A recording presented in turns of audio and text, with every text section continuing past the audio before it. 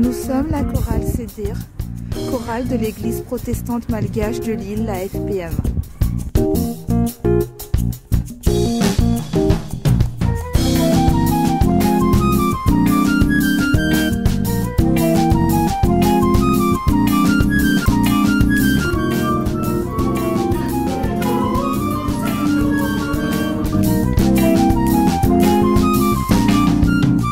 Alors, nous serons présents au concert des églises le 19 janvier prochain. Nous vous y donnons rendez-vous et nous serons heureux de vous y présenter quelques chants de notre tradition. Venez nombreux